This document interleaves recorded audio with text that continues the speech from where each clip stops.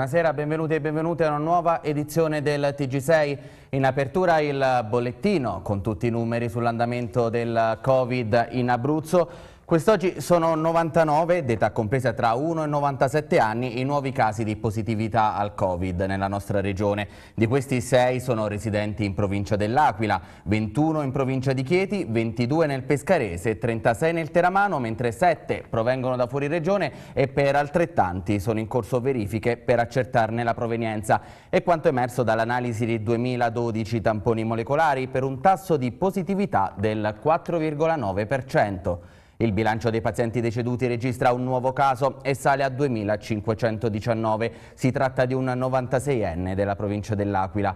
I guariti rispetto a ieri sono 77 in più e gli attualmente positivi in Abruzzo sono 2.027, 21 in più rispetto a ieri. Nel totale sono ricompresi anche 357 casi riguardanti pazienti persi al follow-up dall'inizio dell'emergenza, sui quali sono attualmente in corso verifiche. 61 pazienti, lo stesso numero di ieri, sono ricoverati in ospedale in area medica 6, uno in più rispetto a ieri con un nuovo ingresso, sono quelli in terapia intensiva, mentre gli altri 1960 positivi accertati, 20 in più rispetto a ieri, sono in isolamento domiciliare con sorveglianza attiva da parte delle ASL. Parliamo ora dell'emergenza idrica, attivato a Chieti il pronto soccorso per la carenza d'acqua, l'amministrazione comunale eh, è mobilitata e da domani eh, ci saranno anche le autobotti in città. Vediamo il servizio di Paolo Renzetti. Partirà domani mattina il rifornimento straordinario con autobotti e rastrelliere a Chieti e Chiediscalo per far fronte alla carenza idrica in città.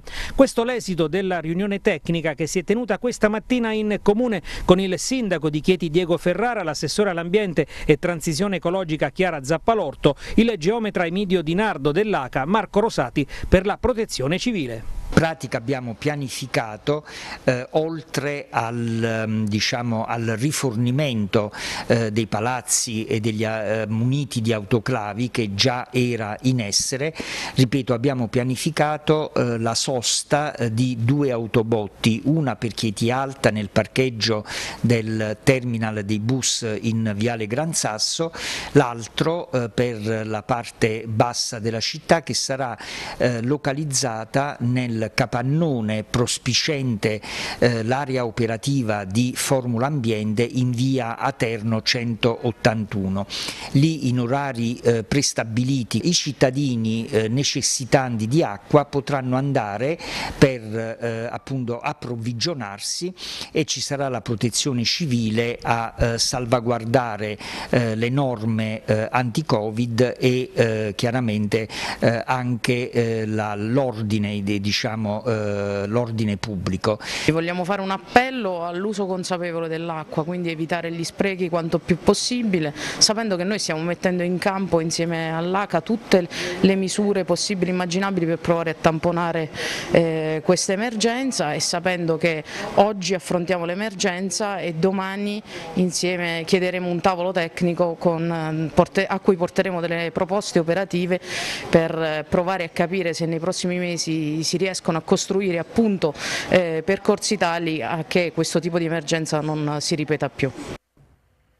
E a proposito di carenza idrica, da domani alle 8 saranno operativi due serbatoi d'acqua potabile messi a disposizione dall'ACA. Ad annunciarlo il sindaco di Pescara, Carlo Masci, in un post sui social. Un serbatoio da 5.000 litri è stato montato al Palarico Piano e uno da 3.000 litri si trova al Palelettra. Da domani, spiega il primo cittadino, saranno entrambi operativi per il prelievo d'acqua ogni giorno fino alle ore 20 da parte di chi ne avesse bisogno e saranno ricaricati continuamente dall'azienda azienda acquedottistica. Sul posto, conclude Masci, il Comune garantirà la presenza della protezione civile per, ev per evitare eventuali assembramenti. Anche Pescara quindi corre ripari per far fronte alla carenza idrica che a causa della siccità e delle reti vetuste in cui si perde gran parte dell'acqua lascia spesso a secco i rubinetti di diversi comuni in Abruzzo.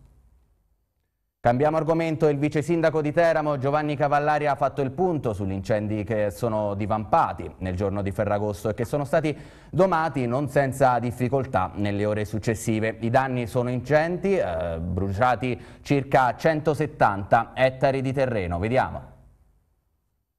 L'incendio di Miano adesso è sotto controllo, è stata una giornata difficile più che altro perché le condizioni meteorologiche erano così strane, c'erano delle folate di vento che venivano in momenti diciamo, abbastanza anche lontani l'uno dagli altri che rialimentava l'incendio L'incendio era in una zona impervia per cui era impossibile poterlo spegnere con mezzi di terra e con uomini a terra, abbiamo dovuto attendere in prossimità delle abitazioni per evitare, per scongiurare danni alle abitazioni. I vigili del fuoco sono stati come al solito non all'altezza della situazione, anche molto più bravi del, di quello che normalmente sono, eh, insieme al, al, volontariato, insieme alla protezione civile siamo riusciti veramente a scongiurare delle situazioni di pericolo che siano determinate nella frazione di Orciano, nella frazione del centro urbanizzato di Miano.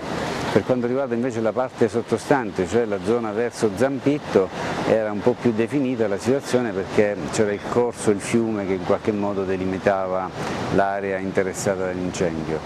A quelle si sono aggiunte altre, altre situazioni importanti come eh, l'area circostante il deposito della provincia incontrata a Scalepicchio che ha determinato anche lì qualche momento di panico ma che è stato prontamente spento dai vigili del fuoco. Già parliamo di oltre 170 ettari di superficie bruciata con macchie mediterranee, alberature importanti come quelle che c'erano a Miano, cioè tutte querce. I danni sono consistenti perché voglio dire indipendentemente da tutto all'interno di queste aree che sono, state, sono rimaste bruciate ci sono alberi di ulivo, ci sono alberi da frutto, ci sono tutta una serie di situazioni che in qualche modo hanno provocato dei danni non solo al territorio ma anche eh, alle culture dei proprietari di quei terreni. C'è da aggiungere che anche l'autostrada Strada dei Pacchi nel tratto della Galleria Caressia ha subito dei danni in conseguenza all'incendio di Contrada Carapollo che anche lì dovranno essere stimati. Diciamo che il danno non è solo quello ambientale ma proprio quello di, di vedere andare in cenere tanti anni di storia e tanti anni veramente della nostra vita. Torniamo sulla questione Covid. Il Comitato Tecnico Scientifico nei giorni scorsi ha emanato le nuove linee guida che determinano il ritorno in presenza tra i banchi di scuola che in Abruzzo avverrà il 13 di settembre. I presidi però non ci stanno, annunciano ricorsi al TAR contro il Green Pass obbligatorio. Stefano Recanati. Accordo fatto sul protocollo sicurezza delle scuole in vista dell'avvio del nuovo anno scolastico, ma con uno strappo clamoroso, i presidi non ci stanno. L'obbligo del Green Pass è illegittimo e discriminatorio nella misura in cui va contro il regolamento 953 del 2021 e ai sensi del quale è stato adottato per gli spostamenti per l'estero. A dichiararlo è Marcello Pacifico, presidente nazionale UDIR. Per questo il sindacato dei presidi annuncia che sarà richiesto un provvedimento provvedimento urgente al giudice amministrativo a ridosso dell'inizio dell'anno scolastico e accademico e al giudice ordinario un'ordinanza contro l'azione discriminatoria e per i relativi risarcimenti patiti. Tutto questo a distanza di poche ore dal nuovo decreto legge che introduce dal 1 settembre al 31 dicembre 2021 l'obbligo di Green Pass per il personale scolastico che secondo il ministro Patrizio Bianchi costituisce una ulteriore misura di sicurezza. Questa disposizione non si applica al personale che, per motivi di salute, è esente dalla campagna vaccinale secondo i criteri indicati dal Ministero della Salute, questo a tutela dei lavoratori fragili. Il Green Pass non è previsto per studenti e studentesse. Ma chi dovrebbe controllare il certificato verde alla ripresa delle attività scolastiche? Il decreto prevede che siano i dirigenti scolastici e i responsabili dei servizi educativi dell'infanzia, nonché delle scuole paritarie, a verificare il possesso della certificazione. La verifica può essere delegata formalmente dal preside ad una persona della scuola. Tutto ciò prosegue il sindacato, oltre a mettere i dirigenti scolastici nella posizione di dover sanzionare chi del proprio personale ne è sprovvisto, aumenta notevolmente il carico di lavoro e soprattutto le responsabilità. Sicuramente la classica goccia che ha fatto traboccare il vaso è la decisione della sospensione dello stipendio, ma anche le multe da 400 a 1000 euro. Per questo è stato annunciato un ricorso al TAR del Lazio con adesione adesioni entro il 23 agosto 2021. Anche la giovane associazione europea Radamante si schiera contro il Green Pass obbligatorio, specie per gli studenti universitari. L'azione, dicono dall'associazione, vuole annullare l'articolo 1,6 del decreto legge numero 111 del 2021 e le disposizioni applicative che causano l'interruzione del diritto allo studio come esami, lezioni e lauree. Nel frattempo l'associazione metterà a disposizione un modello di domanda di tampone rapido e gratuito da eventuale richiedere ai rettori nonché di attivazione della didattica a distanza. Da tre giorni è partito il fermo pesca sulla costa abruzzese. Per le associazioni di categorie potrebbe portare anche risvolti negativi sul piano economico. Vediamo perché. Da oggi torna il fermo pesca nella nostra regione, stop dunque al pesce fresco in tavola in tutto l'Adriatico da Martinsicuro fino a Vasto. Lo annuncia Coldiretti, impresa pesca, sottolineando che il blocco delle attività durerà nel tratto tra il sud delle Marche, l'Abruzzo ed il confine con il Molise fino al prossimo 16 settembre. Come lo scorso anno spiega Coldiretti, impresa pesca, in aggiunta però ai periodi di fermo fissati, i pescherecci dovranno effettuare effettuare ulteriori giorni di blocco che vanno da 7 a 17 giorni a seconda della zona di pesca e del tipo di pesce pescato. Il periodo di fermo biologico è un periodo di tempo nel quale è proibita la pesca in determinate aree. Si tratta di una eh, decisione che è in vigore ormai da 30 anni e che eh, l'Unione Europea che regola eh, la pesca ha fortemente voluto per tutelare il patrimonio ittico dei nostri mari. Ma i nostri pescatori non sono solo soggetti soggetti a questo periodo di fermo, quindi il periodo che va da ehm, agosto a settembre.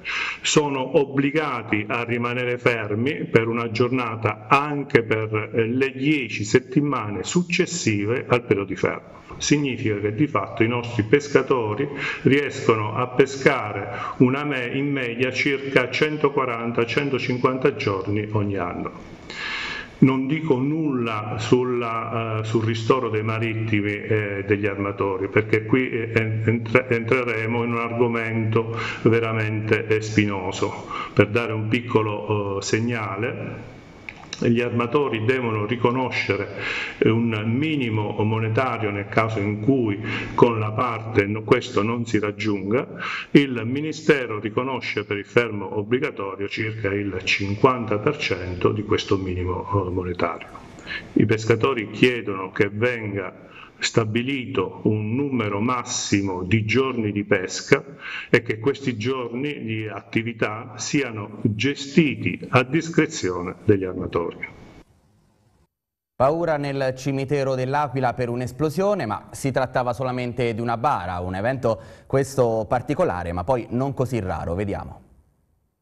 È stato chiuso al pubblico e lo rimarrà sino a nuova comunicazione il loculario del cimitero dell'Aquila dopo l'esplosione di una bara all'interno di un loculo. A darne notizia sono il sindaco Pierluigi Biondi e l'assessore con delega ai servizi cimiteriali Fabrizio Taranta. Il provvedimento, spiega l'ente, si è reso necessario a seguito di un fenomeno particolarmente raro come quello dell'esplosione della bara. Sotto la supervisione dell'azienda sanitaria, il personale di una ditta specializzata provvederà sia alla ripulitura dell'aria sia al recupero del feretro. Sino a quel momento l'accesso all'oculario sarà interdetto a chiunque non sia autorizzato. Il fenomeno, seppur raro, risulta del tutto naturale. Può dipendere da un difetto di funzionamento della valvola di sfiato delle bare che può incepparsi e quindi bloccare il lento defluire dei gas che si formano durante la decomposizione dei corpi. Alcune bare possono essere difettose oppure costruite con materiali scadenti, valvole comprese.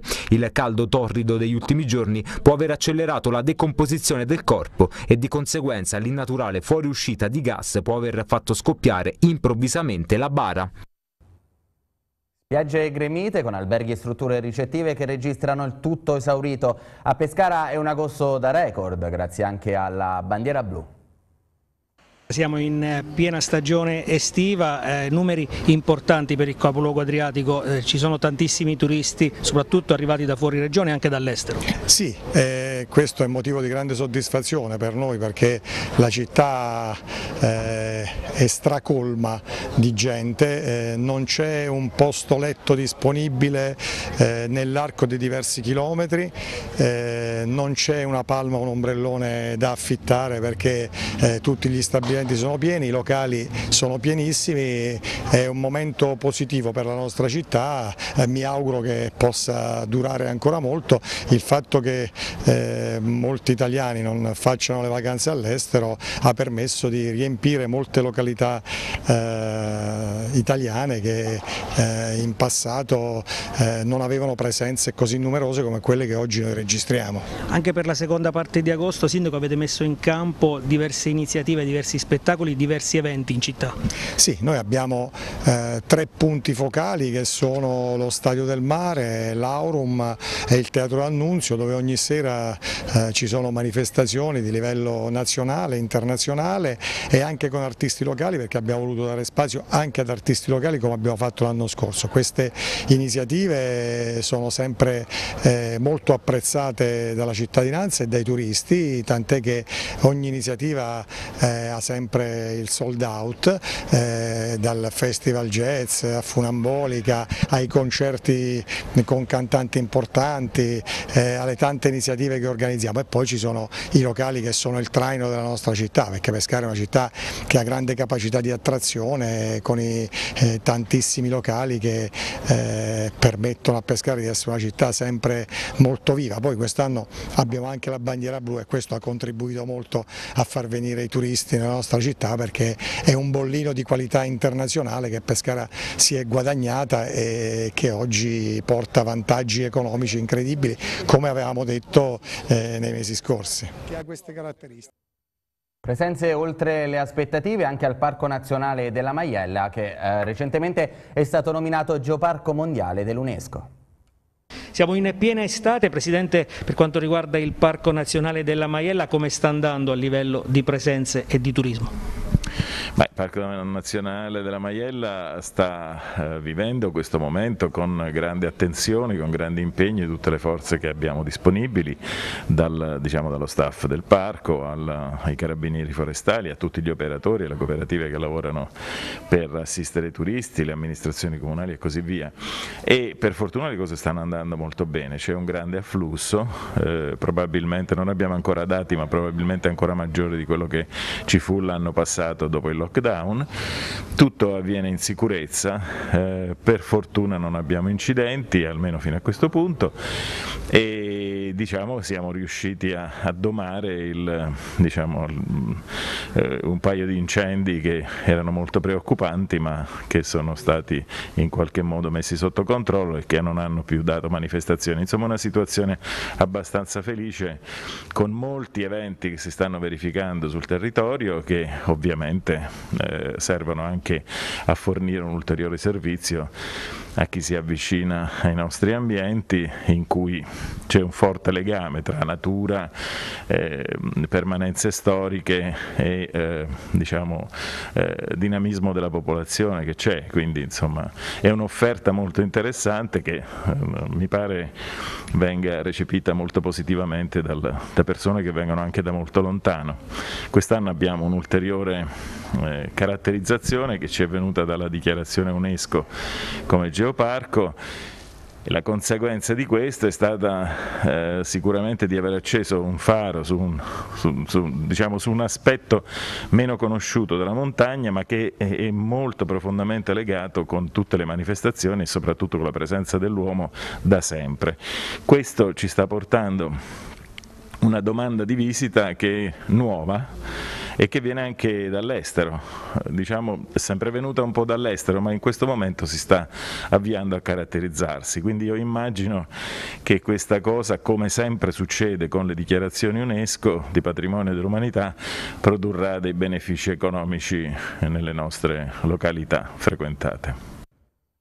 E ora lo sport con il calcio. Per il Pescara il prossimo innesto che arriva dal mercato potrebbe essere il centrocampista Giuseppe Rizzo, già in biancazzurro per una stagione e mezzo tra il 2013 e il 2014. E intanto si avvicina anche il debutto in stagione in Coppa Italia con eh, l'Olbia all'Adriatico. Nel pomeriggio l'apertura della vendita dei biglietti e per l'ingresso allo stadio sarà obbligatorio esibire il Green Pass. Andrea Costantini. Giuseppe Rizzo potrebbe a breve tornare a Pescara. Tra i nomi di Marco Armellino del Monza e Carlo Derisio del Bari sbuca quello del centrocampista attualmente di proprietà della Triestina con cui ha un contratto in scadenza a giugno 2022. Rizzo era arrivato a Pescara dalla Regina nel gennaio 2013 quando la squadra era in Serie A ed è rimasto anche in quella successiva, la 13-14 in Serie B con le gestioni di Marino e Cosmi. Nell'estate successiva la Regina riscattò il centrocampista che era in comproprietà e Rizzo lasciò Pescara. Giocatore muscolare, di quantità, che dà il meglio in fase di interdizione. Il suo arrivo risponde all'esigenza di dare ulteriore peso specifico al centrocampo, almeno nelle indicazioni del tecnico Auteri, anche perché Armellino, che è nei radar del Delfino da tante settimane, è vicinissimo al Modena, che dunque sta piazzando un altro importante innesto in una rosa già altamente competitiva. L'arrivo di Rizzo potrebbe far supporre a breve una uscita di Massimiliano Busellato, oramai un separato in in casa al pari di Galano. Sui due questa la presa di posizione del presidente Daniele Sebastiani. In Serie C credo che non ci sono andato solamente io, anzi loro sono stati tra i fautori di questa annata disgraziata, quindi credo che dovrebbero anche passarsi una mano sulla coscienza anche loro. Eh, detto questo, se dovessero arrivare richieste che ad oggi non ci sono, sicuramente non tratteniamo nessuno per la forza o per la maglia, però al momento credo che il compito principale dei calciatori che sono pagati e sotto contratto debba essere quello di essere professionisti e quindi sono i giocatori del Pescara e devono dare il massimo per il Pescara. E io pure vorrei avere tante cose belle o tante cose di più di quelle che ho, ma eh, comunque ognuno di noi ha dei limiti, se non ci sono richieste evidentemente non sono così poi giocatori così importanti.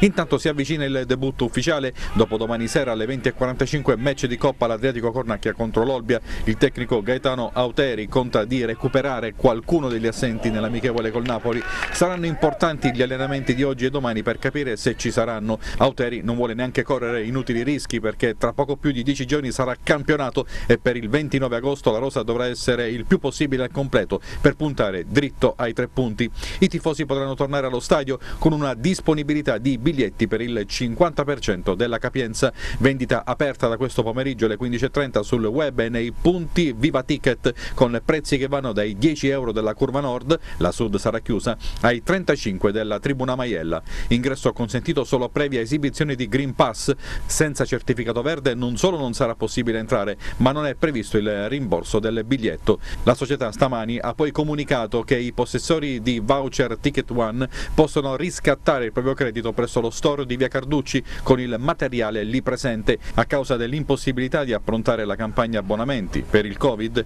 e del cambio dell'azienda partner del ticketing. Si è aggregato in prova al Pescara negli ultimi giorni del ritiro di Palena, ha convinto Auteri e ha firmato il contratto. L'esterno sinistro Alessio Rasi è un volto nuovo di questa stagione e si presenta così ai nostri microfoni.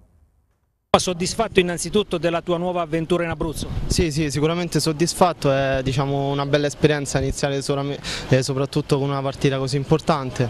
Abbiamo cercato di dare il massimo, abbiamo provato i concetti che il mister ci aveva chiesto, a breve cominceremo con la Coppa Italia e diciamo, ci sentiamo pronti. Una partita importante quella che ci sarà giovedì con l'Olbia perché si inizierà a fare sul serio, c'è la Coppa Italia, l'obiettivo è di iniziare bene la stagione. Certo, diciamo si dice chi ben comincia è a metà dell'opera, sicuramente iniziare col piede giusto è sempre la cosa più importante per chi ha grandi obiettivi, noi diciamo che guardiamo di settimana in settimana ma non nascondiamo di avere eh, obiettivi importanti. Lo scorso anno eri alla Vibonese, quest'anno sei al Pescara, una squadra che punta dichiaratamente ad un campionato di vertice. Sì, sicuramente trovarsi in una situazione, in un contesto del genere è sempre un onore, soprattutto per un ragazzo giovane come me. Spero di dare il massimo e sono sicuro che da quello che abbiamo visto in settimana faremo molto bene quest'anno. Eri stato in prova per diversi giorni, eh, poi è arrivata eh, la decisione di Auteri di farti tesserare, per te questo è un attestato di stima importante? Questo sì, innanzitutto è un attestato di stima e poi soprattutto è diciamo, una una, cosa di riconoscenza da parte del mister e spero di ripagare la sua fiducia e quella che mi è stata data dal, dal direttore e da tutta la società. Manovre in attacco a Teramo dove si cerca la prima punta dopo l'addio di Cianci. Manuel Nocciolini sembra essere il principale indiziato insieme a lui Gianmarco Zigoni ed Emanuele Santaniello. Entrambi in uscita da Venezia e Avellino, eh, poi sarà caccia agli esterni di difesa e a quelli mancini d'attacco. Jacopo Forcella. Emanuele Nocciolini, il principale obiettivo di mercato del Teramo che ha tra le priorità quella di inserire prima possibile una prima punta che in organico in questo momento non ha più. Il centravanti in uscita dal Parma dopo essere rientrato dal prestito a Renate contende a Zigoni il ruolo di acquisto per la prima linea. 32 anni, esperienza in categoria e anche qualche stagione non proprio ai livelli che gli sono consoni. Renate come detto ma anche San Benedettese e Ravenna. Una volta in doppia cifra proprio con il Ravenna Ravenna nell'annata 2018-2019 è un contratto che scade a giugno del 2022, quindi con ogni probabilità ci potrebbero essere presto colloqui tra giocatore e Parma per estendere il legame e poi dare il via libera all'eventuale prestito in bianco-rosso, a meno che il Teramo non voglia acquistarlo a titolo definitivo. Discorso simile per l'altro attaccante nel mirino del DS Musa, ovvero Gianmarco Zigoni, che a Venezia non rimarrà, che nel 2021 si è diviso tra Novara, 19 presenze e 2 reti, e Mantova, 17 presenze compresa quella nei playoff e una marcatura. Tra oggi e domani novità in vista sul fronte attaccante a pochi giorni dal debutto ufficiale di sabato in Coppa Italia contro il Monterosi. Che arrivi Nocciolini o Zigoni o lo stesso Santaniello che dovrebbe andare via da Avellino sono giocatori da rivalutare in un contesto come quello di Teramo, considerando che il Diavolo è anche alla ricerca di due esterni di difesa che possono essere il cambio di Rillo a sinistra e Azio Osmanovic a destra e di due esterni d'attacco. Oggi arriva Manuele Emanuele Malotti che sull'out destro formerà la coppia con K, dunque le attenzioni si spostano su giocatori che possano calcare il lato sinistro del fronte offensivo e costruire insieme alla punta che arriverà il tridente per Federico Guidi che vede Mungo in posizione di mezzala ma senza compiti fissi, ovvero con la possibilità di svariare e andarsi a prendere spazi e pallone seguendo il proprio istinto più di quanto non abbia fatto finora. A centrocampo invece sarà caccia agli under, a ragazzi di prospettiva che possano crescere seguendo Arrigoni, sempre più capitano della squadra, e lo stesso Mungo. C'è interesse per capire se questa che si apre può essere l'annata di Federico Viero, qualità indiscutibili, ma nelle due stagioni passate gli è mancato sempre qualcosa per fare il definitivo salto di qualità. Quello che ha fatto ad esempio Santoro andato a Perugia. Nella prima pre-season con Bruno Tedino i due avevano destato ottime impressioni, ma mentre il siciliano ci ha messo poco per prendersi la scena, per il 22enne Parmense è stato un po' più complesso trovare lo spazio nell'11 titolare e questa può essere l'annata giusta per farlo. Serie D alla Corte del Nereto arrivano altri due elementi che recentemente hanno indossato i colori del Giulianova sotto la gestione Bartolini. Si tratta dei giovani centrocampisti Luca Balducci e Marco Antonelli. Luca Balducci è nel progetto di continuità del presidente Luciano Bartolini il giocatore che ha eh, diciamo, disputato più stagioni, 5 con la maglia del Real Giulianova e ora si apre questa esperienza a Nereto. Sì, sono contento di riniziare. Eh, sì, col presidente sono 5 anni, eh, sono stati 5 anni belli abbiamo vinto due campionati, tre salvezze, quindi per me è stato molto formativo calcisticamente e come, come persona soprattutto. Quindi sono contento di, di, tutto quello che è stato, ma soprattutto penso al presente. E ora siamo qui a Nereto e e vogliamo fare bene, vogliamo, eh, siamo molto motivati, soprattutto eh, per l'anno scorso che ho avuto un periodo personalmente difficile, ho avuto un infortunio e quindi ora sono innanzitutto contento di poter stare qui in campo con gli altri ragazzi perché quello che mi piace fare è stare qui in campo, allenarmi e lavorare. Ecco, si è conclusa la prima settimana di allenamento, quella che inizia oggi è proprio la seconda, le tue prime impressioni di questi primi giorni? Eh, le impressioni sono ottime, te l'ho detto personalmente io già sono contentissimo di stare in campo e giocare con questi ragazzi, poi il mister ha delle idee chiare, ci sono molti giovani e penso che tutti quanti possiamo crescere con lui. Eh, per me si apre questa nuova esperienza, eh, sì del tutto nuova. E sono cinque anni che sto a Giulianova e da quando sono piccolo che sono lì. E per me questa è un'esperienza del tutto nuova e mm, siamo molto felici di iniziare questa nuova avventura con il Nereto eh, molto motivati, eh, cerchiamo di dare il massimo e stiamo lavorando secondo me molto bene con il mister, lavorando totalmente su concetti nuovi per noi e, e ci vogliamo sicuramente togliere tante soddisfazioni. Poi ci sono anche altri ragazzi che io conosco che ci stavano da altri anni come Saverio, Cristian, Forcini, Luca, Balducci, e il mister Federico, il secondo che lo conosco molto bene, ci ho giocato anche. E sicuramente daremo il massimo. Sicuramente è una stagione molto interessante, ci sono squadre come il Pineto e il Notaresco che ho visto che sono molto attrezzate. E forse anche la San Benedettese come stiamo vedendo tutti è probabile che sia nel nostro girone e, e, noi ce la batteremo sempre con tutti a viso aperto, non abbiamo paura di questo campionato. Questa era l'ultima notizia, i servizi che avete visto sono disponibili su YouTube e sul sito tv6.it. Grazie per averci seguito e buon proseguimento di serata.